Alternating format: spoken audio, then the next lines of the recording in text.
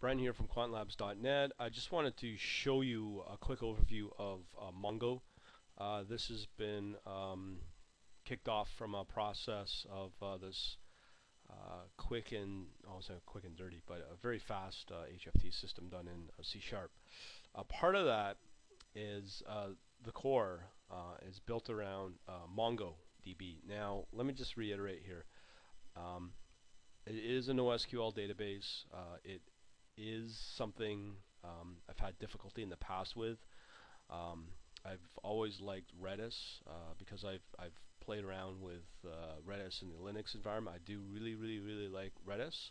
Problem with Redis, it seems that there's really not an official Windows support for Redis, so uh, I have switched over to Mongo. Now, part of this HFT system that is at this posting here, um, this person is definitely using Mongos, so that's pretty well the primary reason why I am using Mongo, or at least attempting.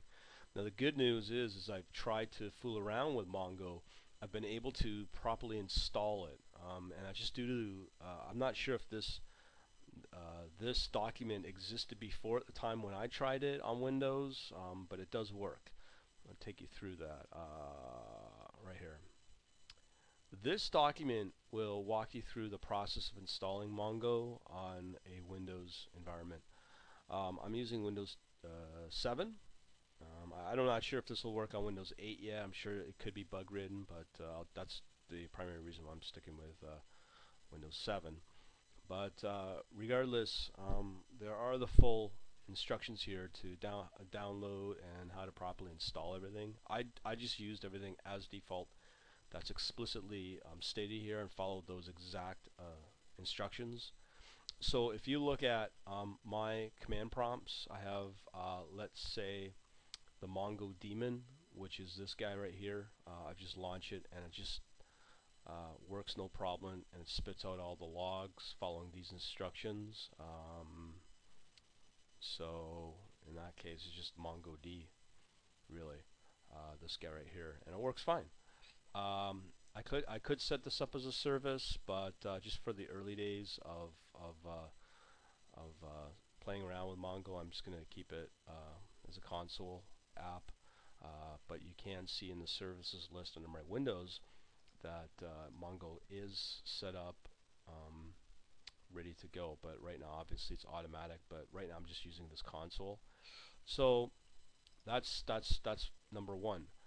Um, number two is a link here about how to um, you know find any good Mongo um, tutorials regarding uh, regarding um, this one right here.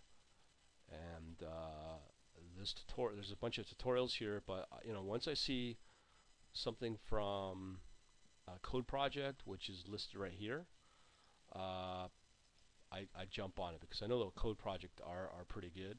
Uh, so I have followed this MongoDB tutorial on, on setting it up. Obviously, you have to set up the MongoDB server first, and then and then use the code from the C Sharp app uh, where it will connect into. Now, this what I'm about to show you, my Visual Studio, uh, is the project that you can download from Code Project, which is right here. Again, this is all done in uh, C Sharp. Um, C Sharp is, uh, some will say, oh, it's too slow, but depends on your data type that you're using. Um, one of the data types that I'm planning to use is very quick. Actually, it's, it's a lot faster in C Sharp than it is in Visual C++. But again, that's something I'll, you know, it's a trade secret. Um, and uh, it's my secret sauce that makes the system fast. Um, and that's the key uh, to it. But again, that's going, uh, that kind of information will go out to my members and mem members only. Um, so as it stands right now for the Mongo tutorial, it's very easy to set up. Um, connects to the server, inserts some data uh, along here. Now, there's one part of the code uh, that uh, does throw an exception, so I just commented out. Everything else seems to work. Now, to be honest, all I really care about is just seeing that this little uh, C-sharp app will connect into um, the the uh, Mongo, and it does. You can see it connecting, um, connection accepted, ends the connection, connection accepted. This is the C-sharp application, and here also that there's this blog um, database that's being uh, written, and this is all from here. So it is working. Now, what you'll need to do is to download a, a good um, Mongo client or, or, GUI application. I found one called MongoVUE. It is free that enables you to, I guess, connect up to two uh, servers in Mongo. Uh, so uh, under, uh, if you're under less than two, it's free. But even if it's something like a hundred, uh, it's like thirty-five dollars. It's very cheap, um, and and it's pretty good. Uh, and this makes you a lot more productive, obviously. So in my case, I've set up a connection a profile. Um, yeah, it finds the database here. The uh, yeah, the, da the database has your collections. Again, this is from the C Sharp application. It's called blog.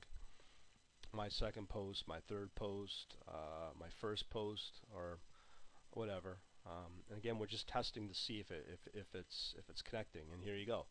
It does my first post, my second post, my third post. So so it is connecting. Um, it can read it. This is all in memory. Um, so everything's working. Uh, I did it really fast. I got all this set up really fast. No different than with Redis. Um, so I'm glad that we've got the Mongo um, documentation already set up. Now the question is where do we go from here? Obviously using Mongo is, is a key part of, of this potential uh, trading platform using my simulink model. Um, there is again the secret sauce of how you set up your schema for your trading data, for your tick data, for your bar chart data. Um, so there is some, um, uh, uh, I guess you could call it just secret sauce, secretive ways of doing that type of uh, setup in your schema. Again, that's going to be put out to my uh, to my um, members, uh, and that was all due to the fact of uh, this one posting that I posted earlier um, this morning. This guy right here, and, and it's, it's based off of a real world um, HFT system built by an amazing guy out of uh, London, UK. Showed me this system, and uh, I'm kind of replicating what he's done so far. Um, but so far, this is how it's done. Um, thus far. Uh, I'll be moving into other phases or into other technologies, um, just testing them out before I integrate them, and then integrate everything that I've got into the uh, into the uh, HFT and MATLAB Simulink model. So that's where we're going. I just wanted to give you an overview of the MongoDB part. Uh, works really good, um, all, especially on Windows. Um, and uh, that's about it. Talk to you later.